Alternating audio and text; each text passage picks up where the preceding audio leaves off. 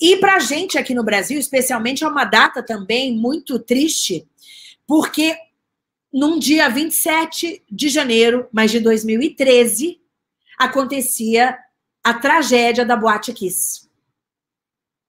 A tragédia da Boate Kiss em Santa Maria, no Rio Grande do Sul, onde 242 pessoas morreram, 242 pessoas morreram e mais de 600, 636, para ser bem específicas, ficaram feridas.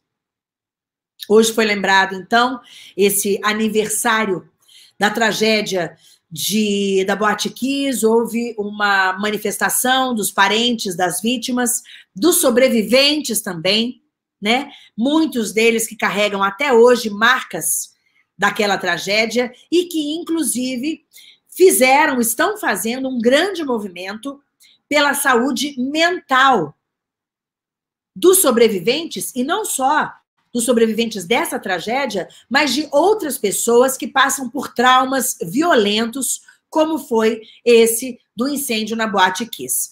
Vamos rodar, Edu? Será que a gente consegue rodar? Tá no Facebook deles, olha lá.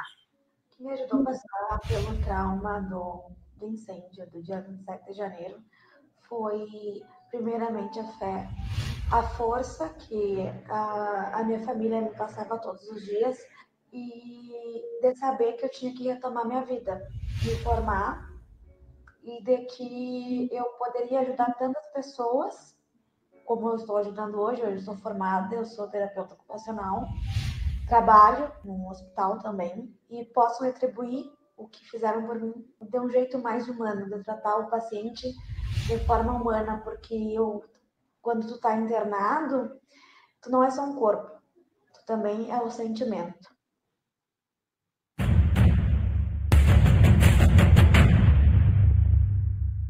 Então, esse aí é um dos vídeos, né?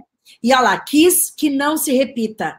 Esse, essa é a página, tá? Que eles têm, então, no Facebook, para quem quiser ir lá conferir, para quem quiser compartilhar esse conteúdo, porque é muito bacana, porque eles estão tratando não só das feridas físicas que ficaram, das cicatrizes que ficaram no corpo, mas na no espírito, na alma.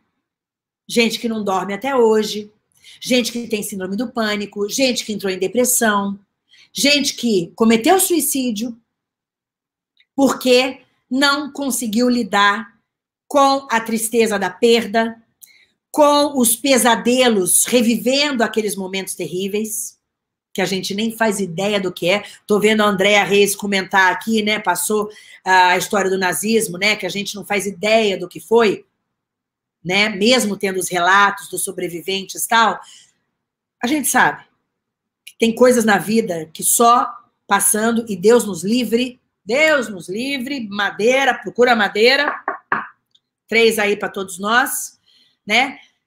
Só assim você sabe de verdade o que, é. E você entende por que, que essas pessoas têm essas reações. Então, muito bacana as vítimas e as famílias hoje estarem envolvidas também nessa questão das doenças mentais, das cicatrizes mentais que ficaram por causa dessa, desse incêndio na Boate Kiss. E o detalhe triste dessa história é que sete anos depois, até hoje, não houve um julgamento. Sete anos. Demora? Claro que demora. Tem que investigar. Sim, você tem que investigar. É uma investigação que não pode ser feita às pressas, né? Sem problema algum. Agora, sete anos. Esse ano, março desse ano, vai acontecer o primeiro julgamento do caso. Vai ser um júri popular. Serão julgados quatro Quatro pessoas serão julgadas, responsabilizadas é, por essa tragédia. As quatro primeiras pessoas, né? Três deles sócios uh, da boate.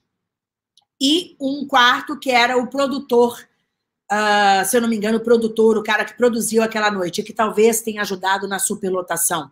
Não sei qual é a responsabilização de cada um nessa história. O júri justamente está ali, é um júri popular, então vai ter jurados e tudo mais, né? Porque eles estão sendo acusados de homicídio qualificado por motivo torpe e emprego de fogo, asfixia ou outro meio que possa representar risco de perigo comum, ou seja, para muita gente.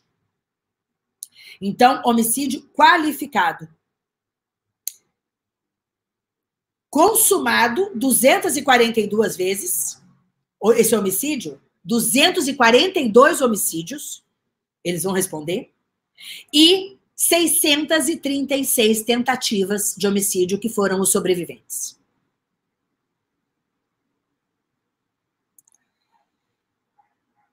Março está chegando e a gente vai acompanhar com certeza.